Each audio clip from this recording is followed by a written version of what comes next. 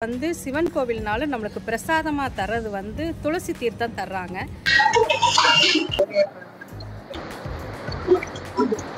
Diesel இப்போ ரெண்டாயிரம் ரூபாய்க்கு போட்டோம். எண்பத்தெட்டு ரூபா பதினஞ்சு காசு தான் இங்கே டீசல். நம்ம ஊருக்கு எங்கேயும் நாலு ரூபாய்க்கு மேலே வித்தியாசம் இருந்துச்சு நான் பார்த்த சாரதியா இருந்து அர்ஜுனனுக்கு கீதா உபதேசம் பண்ண இ- எயிட்டினா டி எயிட்டினா வடை சட்னி. மலைக்கு மேலே தெரியறது தான். ஏர்போர்ட்டாம் கட்டில் துர்காமா கோவில் வாசலில் நிற்கிறோம் திருப்பி வந்து கேட்குறாங்க என்ன வேணுமா? அப்படின்னு சொல்லிட்டு.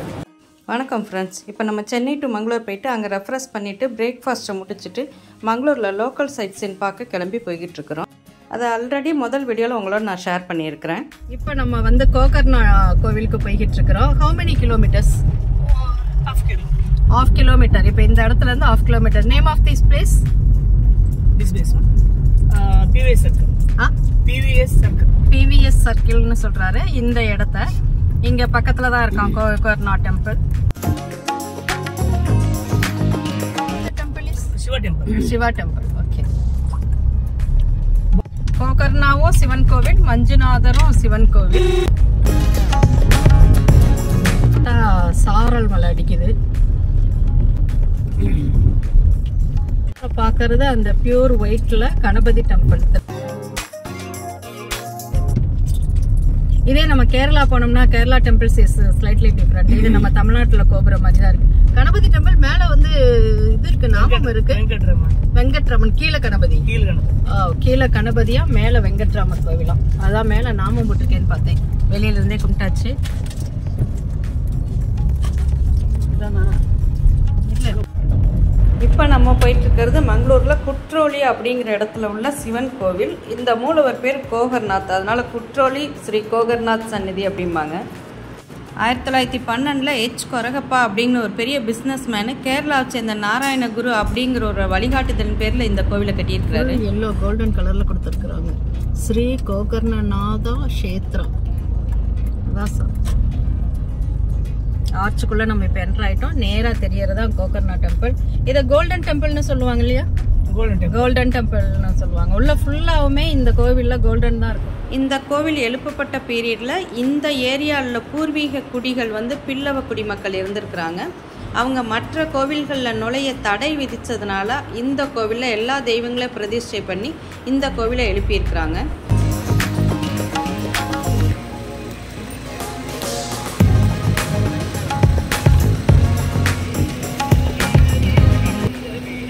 டெம்பிளோட அழகை சொல்றவே முடியாது. இதை பார்த்து ரசிக்கக்கூடிய ஒரு இடம். நம்ம ஒரு நாள் ஸ்பெண்ட் பண்ணலாம். அந்த மாதிரி ஒரு இடம். இப்போ மழை பெஞ்சுக்கிட்டு இருக்கனால தரையெல்லாம் ஈரமாக இருக்கு கொஞ்சம். கோகர்ணா டெம்பிள் கோல்டன் பெங்களூர் வர்றவங்க இந்த கோவிலுக்கு வராமல் போக மாட்டாங்க. அந்த அளவு பெங்களூரின் அடையாளமாக இந்த கோவில் மாறி போச்சு. கோகர்ணா டெம்பிள் வந்துட்டோம். இது நம்ம பிரேக்ஃபாஸ்ட்டு சாப்பிட்ட அந்த ஹோட்டல்லேருந்து ஆஃப் கிலோ என்ட்ரன்ஸ்லேயே இருக்குது நின்ற கோலத்தில் ஆஞ்சநேயர் வந்து அப்படி ஆஜானுபாகவாக இருக்கிறார் பாருங்க. இது வந்து ஆஞ்சநேயர். ஆஞ்சநேயர் நின்ற கோலத்தில் இருக்கிறாரு.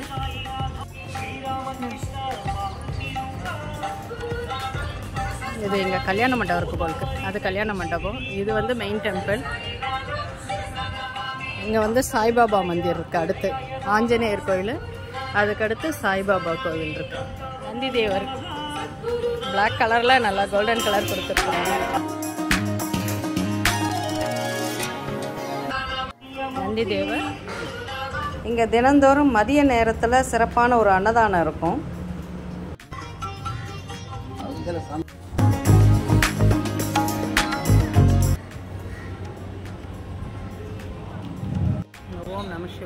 ஸோ நல்லபடியாக சாமி தரிசனம் முடிச்சிட்டோம். இந்த ஸ்தலம் வந்து ஒரு சிவன் கோவில். மூலஸ்தானத்தில் கேரளாவில் இருக்கிற மாதிரி விளக்கு வெளிச்சத்தில் சிவலிங்கம் இருக்கிறாரு. சுற்றிலும் சுத்திலும் பிர வெளி பிரகாரத்தில் வெள்ளி ஆடை உடுத்தின விநாயகர் ஸ்தலம் விநாயகர் கோவில். அதுக்கு அடுத்து ஆறு முகம் முருகர். அவர் வந்து மயில் வாகனத்தில் இருக்கிற மாதிரி ஒரு சிலை. அதுக்கடுத்து கண்கொள்ளா காட்சியாக அன்னபூரணி. ரெண்டு வாசலே ரெண்டு சிங்கங்கள் இருக்குது அதுக்கடுத்து காலபைரவர். எல்லாருமே இன்றைக்கி வந்து வெள்ளி ஆடை உடுத்தி ரொம்பவே சூப்பராக இருந்து காட்சி தந்தாங்க. இந்த கோவிலில் வந்து சிவன் கோவில்னாலும் நம்மளுக்கு பிரசாதமாக தர்றது வந்து துளசி தீர்த்தம் தர்றாங்க. நம்ம ஊர்களில் பெருமாள் கோவிலில் தானே தருவாங்க. சிவன் கோவிலில் துளசி தீர்த்தம் அப்படின்னு கேட்டப்போ இது வந்து ஹரிஹரன் தானே. அதனால் இவங்களுக்கு வந்து நாங்கள் துளசி நெய்வேத்தியமாக படைப்போம் அப்படின்னாங்க குருக்கள். ரொம்ப அருமையான வித்தியாசமான ஒரு இது. சந்தனமும் திருநீரும் நம்மளுக்கு தராங்க. அப்புறம் புஷ்பம் தர்றாங்க வர எல்லாத்துக்கும். இது வந்து உள் பிரகாரம். இப்போ வெளிப்பிரகாரம் நம்ம சுத்த போகிறோம் வெளிப்பிரகாரத்தில் என்னென்ன கோவில்கள் இருக்குன்னு பார்ப்போம் வாங்க. வெளிப்பிரகாரம் இந்த ரதம் இருக்குது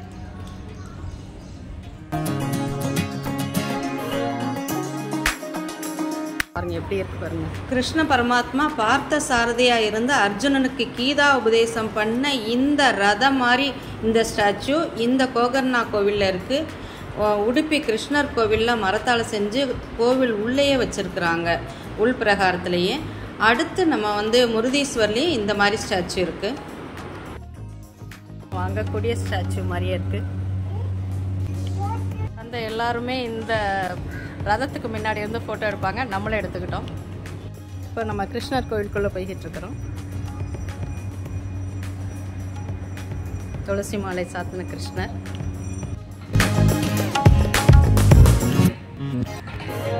இந்த கோவிலில் ஒரு தெப்பக்குளம் இருக்குது அந்த தெப்பக்குளமே அவ்வளோ அழகாக மெயின்டைன் பண்ணியிருப்பாங்க. சுற்றிலும் கார்டன் மாதிரி நிறைய வந்து ஒரு பார்க் மாதிரி பண்ணி வச்சுருப்பாங்க. அதை தான் இப்போ நம்ம பார்க்க போய்கிட்டு இருக்கிறோம் இந்த கோல்டன் டெம்பிளில் ஒவ்வொரு இடமும் அழகு அப்படிங்கிறதுக்கு இந்த தெப்பக்குளமே ஒரு சாட்சி. குளத்தை சுற்றியுமே அப்படி ஒரு முனிவர்கள் சிவன் பார்வதி பிள்ளையார் முருகர் அப்படி எல்லாருடைய ஸ்டாச்சு விதவிதமாக நான் வந்து செஞ்சு வச்சுருப்பாங்க. அது நம்ம வந்து ரொம்பவே நின்று ரசிக்கலாம். அந்த கோல்டன் டெம்பிளில் அந்த கலர் வந்து ரிஃப்ளெக்ட் ஆகும் அந்த தண்ணியில். நல்லா பார்த்துட்டு இப்போ நம்ம கோவிலில் சாமி தரிசனம் முடிச்சிட்டு வெளியில் வந்துட்டோம். கோயில் கோகர்ணா சாமி தரிசனம் முடிச்சிட்டோம். இங்கே லோக்கலில் நிறைய கோவில் உண்டு. அதை நம்ம ரிட்டனில் பார்த்துக்கலாம் அப்படிங்கிறதுனால கட்டில் துர்கா அம்மாவை பார்க்க போய்கிட்டு இருக்கிறோம். அங்கேருந்து அடுத்து உடுப்பி. இப்போ நம்ம மங்களூர்லேருந்து கிழக்கு நோக்கி போயிட்டுருக்கிறோம் இது வந்து ஒரு நம்ம போயிட்டுருக்கிற இந்த துர்கா பரமேஸ்வரி ஆலயம் வந்து உலக புகழ் பெற்றது. மூன்று பக்கம் நதி இருக்கும். நடுவில் வந்து கோவில் இருக்கும். டீசல் இப்போ ரெண்டாயிரம் ரூபாய்க்கு போட்டோம். எண்பத்தெட்டு ரூபா பதினஞ்சு காசு தான் இங்கே டீசல். நம்ம ஊருக்கு இங்கேயும் நாலு ரூபாய்க்கு மேலே வித்தியாசம் இருந்துச்சு what is the Oh, Mangalore Corporation. Bangalore corporation arch Bangalore corporation ஆர்ச்சுக்குள்ளே நம்ம இப்போ வீட்டில் அந்த மலைக்கு மேலே தெரியறது தான். ஏர்போர்ட்டாம் ஹைட்டில் ஒரு மலைக்கு மேலே ஏர்போர்ட் நம்ம இப்போ தான் பார்க்குறோம்னு நினைக்கிறேன். நம்ம இப்போ பால்குனி அப்படின்னு சொல்லிட்டு மேங்களூரில் ரிவர் தண்ணி ஆற்று நிறைய போகுது பாருங்க.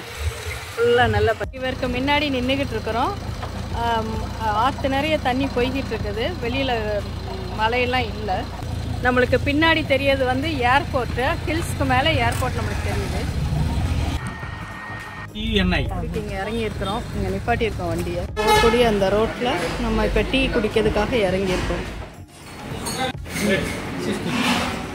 two vada sixty tea tea how much எயிட்டினா tea எயிட்டினா வடை சட்னி சாம்பாரோட அறுபது ரூபாய் அறுபது ரூபான்னு அதிகமாக தான்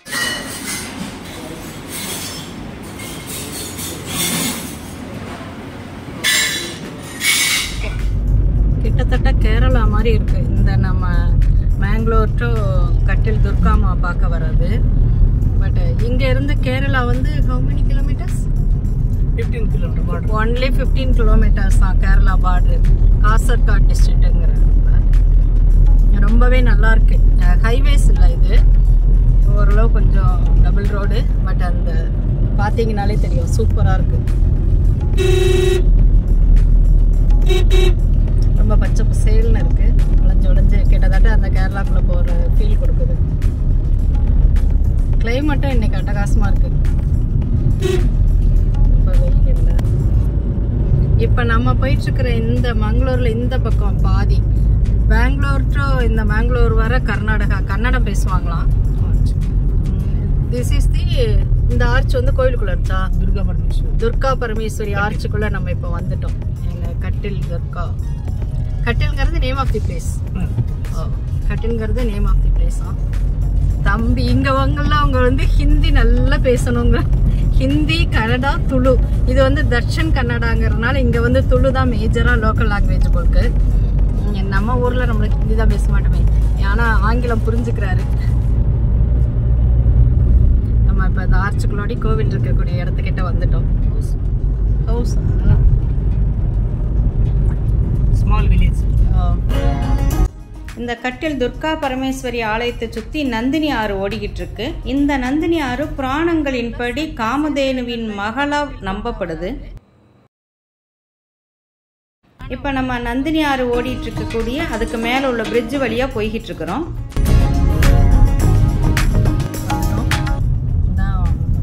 துர்காமா கோவில். இங்கேயும் பாருங்க அந்த கோல்டன் டெம்பிள் மாதிரி தான் நல்ல கோல்டு நடுவில் நடுவில் மெரூன்.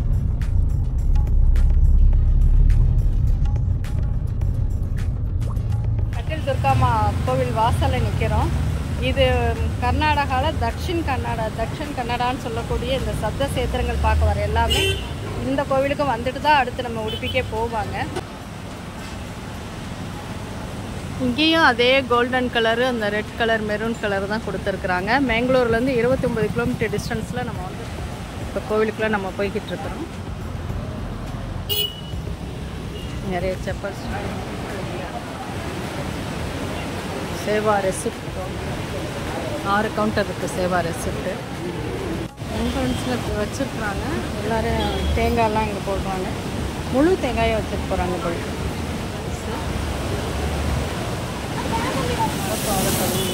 கோவிலுக்குள்ளே இப்போ நம்ம வந்துட்டு இருக்கிறோம் என்ட்ரு ஆகிட்டு இருக்கிறோம். தண்ணி இந்த கோவில் ஃப்ரண்ட் வழியாக போகுது. அதுக்கு மேலே உள்ள பாலத்தில் நம்ம நின்றுக்கிட்டு இருக்கிறோம். இப்போ நம்ம அந்த பிரிட்ஜை கடந்து கோவிலுக்குள்ளே என்ட்ரு ஆகிட்டோம் கிட்டத்தட்ட ஒரு தீவு மாதிரி தான் சுற்றிலும் தண்ணி நடுவில் பிரிட்ஜை கடந்து இந்த கோவிலுக்குள்ளே நம்ம வந்துருக்கிறோம். துர்கா பரமேஸ்வரி அம்மனோரு சந்நிதின்னு போட்டிருக்குது. சந்நிதி.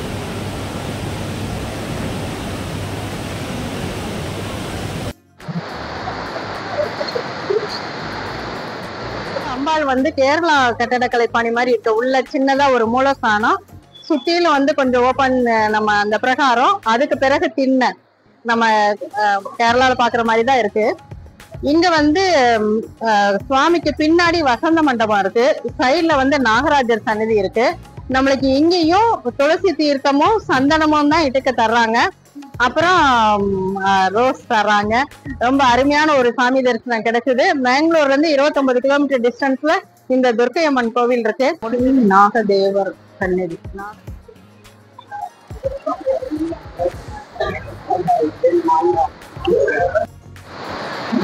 ஆறு சுத்தியில அந்த கோவிலை சுத்தி ஆறு ஓடுது.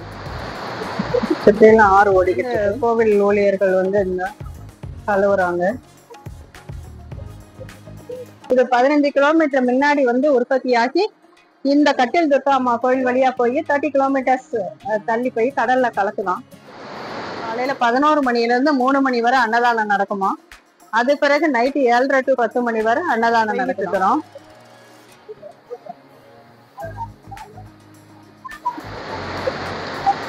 இந்த show நம்மளும் அன்னதானம் எப்படி இருக்குன்னு பார்ப்போம். டைனிங் ஹால் டூ காம்ப்ளெக்ஸ் நல்லா நீட்டா மெயின்டைன் பண்ணிட்டு இருக்காங்க கோவில. அன்னதானத்துக்கு எவ்வளவு பெரிய ரோ போட்டு வச்சிருக்காங்க பாருங்க. பொதுவா கர்நாடக கோவில்கள் எல்லாத்துலயுமே அன்னதானம் இருக்கும். கொடுக்காது இந்த தக்ஷன் கன்னடான்னு சொல்லக்கூடிய மங்களூருக்கு இந்த பக்கம் இருக்கக்கூடிய ஏட்டோ டைனிங் ஹால் கொஞ்சம் தூரம் வர வேண்டியிருக்கு. சரி வாங்க. இந்த டைனிங் ஹால் இங்கே வந்து ஹேண்ட் வாஷ் பண்ணுறதுக்கு என்ட்ரன்ஸ்லேயே வச்சுருக்குறாங்க. நம்மளும் ஹேண்ட் வாஷ் பண்ணிடுவோம்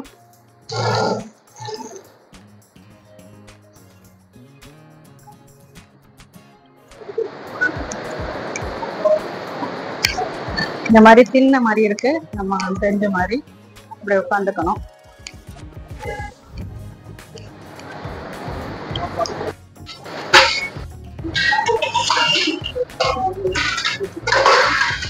உங்களுக்கு வேண்டிய பிளேட்டை நம்மளே எடுத்துக்கிட்டோம். அவங்க வேண்டிய எடுத்துக்கணும் ஒரு அவங்க எல்லாம் எடுத்துக்கிறாங்க.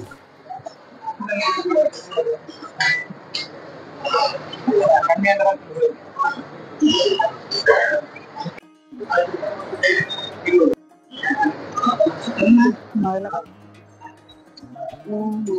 இது ஏதோ ஊறுகா மாதிரி இருக்கு. உப்பு புளிப்பு உரப்பெல்லாம் சேர்ந்துருக்கு. இருக்கு முதல்ல எல்லாத்துக்கும் வச்சுட்டு போறாரு.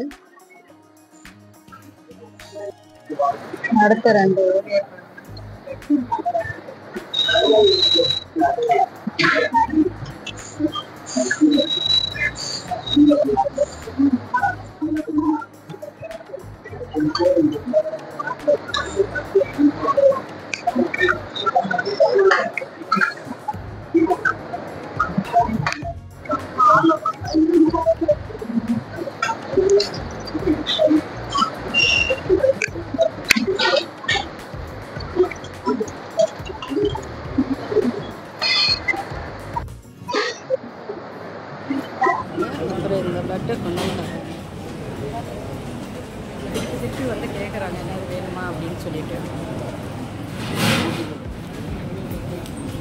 பாயசம் ஊற்றி அதை கட்டிட்டு ஒரு பிளேட் அப்படி வச்சிடணும். அவங்களே கழுவிக்கிறாங்க. இவ்வளோ இடம் ஃபுல்லாக வச்சுருக்குறாங்க. அப்படியே வந்து எதிர்த்தாப்புல ட்ரிங்கிங் வாட்டர்